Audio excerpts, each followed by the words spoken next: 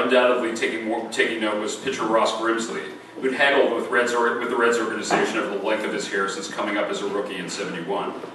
During one spring training, the Reds marched Grimsley to a Florida barber, then sent him back three more times before his tresses finally conformed to team standards.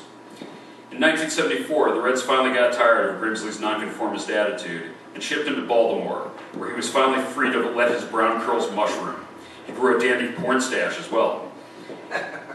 Grimsley went on to uh, win 18 games that year for the Orioles and won another 20 in 1978 as an even hairier member of the Expos. Grimsley, whose nickname was Scuzz, was notorious for refusing to bathe when he was pitching well.